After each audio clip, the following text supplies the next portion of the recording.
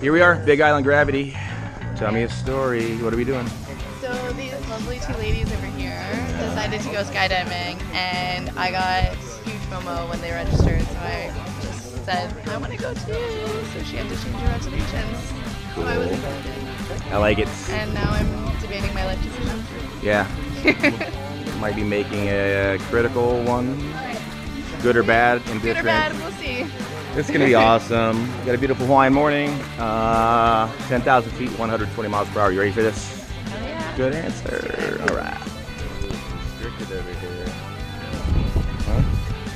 Some danger and four languages on the back of your harness. I don't know. All right, we got an airplane. We got parachutes. Check. Uh, are you a pilot? No, Oh. but I play one on television. Ah, that'll work. Okay.